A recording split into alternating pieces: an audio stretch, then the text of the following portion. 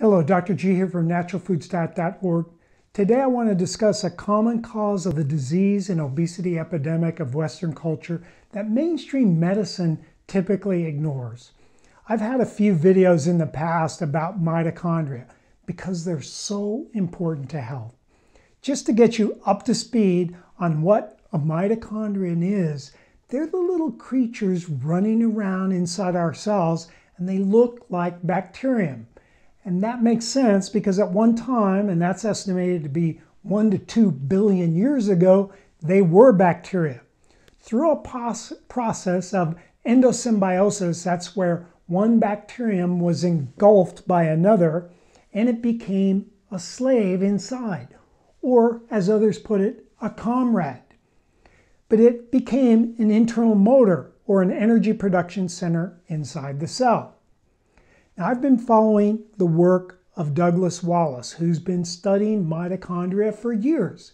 He's discovered through many sophisticated studies that more and more diseases, along with the aging process itself, are caused by a lack of energy. And this lack of energy is caused by the breakdown in our mitochondrial function. By missing this critical point, medical research and most of mainstream medicine has not been able to come up with any effective treatments for the many diseases that are now epidemic in our society. Mitochondria have their own DNA, which is separate from the nuclear DNA that's inside the cell nucleus. The nuclear DNA codes for our cell form and function. Mitochondrial DNA only codes for certain energy producing proteins that reside inside the mitochondria. The mitochondria can't live by itself.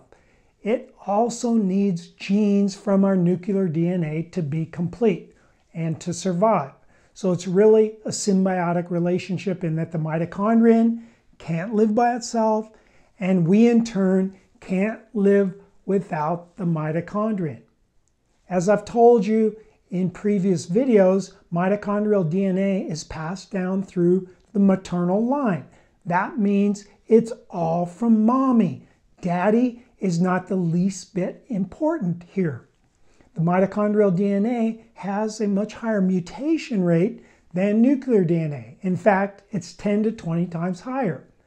This high mutation rate is hypothesized to allow for rapid adaptation to the environment instead of classical evolution, which, which looks at mutations in nuclear DNA. As an example, the first humans were in Africa. Then, as humans moved out to conquer other lands, there were changes in the mitochondrial DNA, and we call those haplotypes. These have been studied fairly extensively.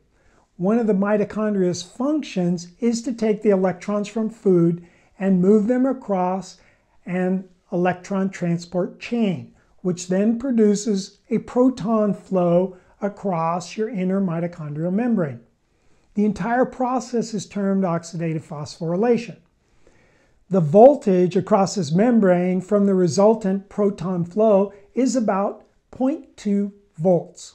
Now that might not sound like much of a charge, but because of the extremely small nanometer width of the membrane, this small charge is the equivalent to a bolt of lightning, 30 million volts. You carry that kind of electric charge inside every one of your mitochondria, a freaking bolt of lightning. So respect yourself and for sure respect your mitochondria. I happen to be of Northern European ancestry. In Northern Europe, we see increased haplotypes with loosely coupled mitochondrial function. In the original humans in Africa, the mitochondrial oxidative phosphorylation process is tightly coupled, meaning there is little wasted energy and there's a very efficient production of ATP. ATP, you may know, adds energy to cells through the cleavage of its phosphate bond. Because of the rapid mutation rate in mitochondrial DNA, it aids in the rapid adaptation necessary to face new challenges. the humans that moved up into Northern Europe, and here we're talking about my ancestors, were faced with the cold. Here, it would be an advantage to have some leaky mitochondria where oxidative phosphorylation is loosely coupled. And I know you're asking, why would that be helpful, Dr. G? Because if you're loosely coupled, then instead of only making ATP, you will also make heat. Now, this isn't very efficient, but the added heat would be an advantage to people that are going up and conquering glaciers and trying to kill woolly mammoths right and left. Haplotypes in Northern Europe have mitochondrial DNA changes that allow for leakiness that produces heat that has a survival advantage. So it's the mitochondrial DNA mutations that may help us adapt faster in a hostile environment. And this may be a very good thing, and it may be what ultimately saves the human race from our current disconnect from nature. Sometime in the future, the average human will probably not be able to survive without a cell phone in hand and their hips permanently flexed to 90 degrees to accommodate sitting in a chair, like I see most teenagers and even most adults today. At that point, no one will have to walk and no one will be able to walk. I could see that after adaptation, the only humans that survive are those within a close proximity to a cell tower and they have a monitor embedded in their eye or eyeglasses. But I believe that these extraneous non native electromagnetic frequencies and these odd physical positions that are now our habitual postures are screwing up our biology. And if you think you're going to adapt personally, I think you're dead wrong. It's not the people living today, right now, that will survive, but the ones 10 generations down the road. And I imagine even then it's going to be a very small number of these cell phone mutants. So if I were you, I wouldn't wait for this. So let's get back to Dr. Wallace's work on mitochondria. Usually mitochondrial DNA mutations are deleterious, meaning they're bad, and they don't help with survival like our previous example with the cold environment. With normal aging, mitochondria will develop mutations which are harmful, and these are passed down to the daughter mitochondria. But there will still be other populations of healthy mitochondria that remain. So we have then two populations of mitochondria bad ones and good ones, healthy ones and unhealthy ones. This is called heteroplasmy. As the percent of damaged mitochondria increases, in other words, as heteroplasmy increases, at some point the shit hits the fan, and that's death or disease. This will happen faster in the more sensitive tissues, which are the tissues that require the most energy. And you guess it, it's the tissues with the most mitochondria. Number one in this respect is the brain and the nervous system. And this leads to my personal hypothesis as to why we have so many stupid people on this planet. Next is the heart, then the skeletal muscle, then the kidney, and then the endocrine glands. Fat is about last because fat has no mitochondria. So unfortunately, even the diseased and the dead will remain fat despite Weight Watchers or anything else. Now I know, except for brown fat, which has mitochondria, and that's another topic for another blog.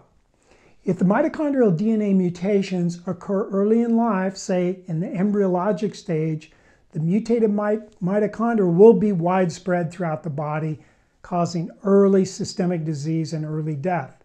If they occur later in life, say in one particular organ, then they'll tend to be confined to that organ. Take Alzheimer's, Parkinson's, MS. The systemic problem occurs in the unfortunate children that are born with mitochondrial mutations. There are 10 to the 17th power of mitochondria in our body. That's a staggering number that's really impossible to comprehend. So we know the mitochondria are critically important.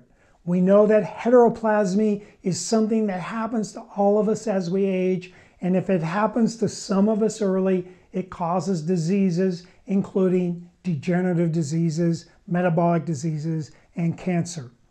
Is there a way to lower heteroplasmy in your cells? One way would be to increase autophagy. But technically speaking, autophagy is the cleanup of the cell, and we're talking about mitochondria here, so they have a different name for it, and it's called mitophagy.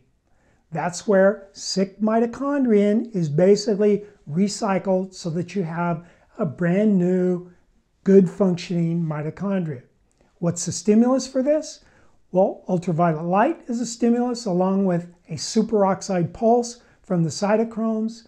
The cytochromes are inside the mitochondria and they produce reactive oxygen species which act as a signal to induce mitophagy. How do we induce this? A lot of this is theory, but in theory, there are things we can do to rebuild our mitochondrial troops and reduce heteroplasmy. A lot of this has to do with fixing your personal disconnect with nature. Stay tuned because I will be going over some of these anti-aging and disease-reducing strategies in future video blogs. This is Dr. G. Thanks so much for watching.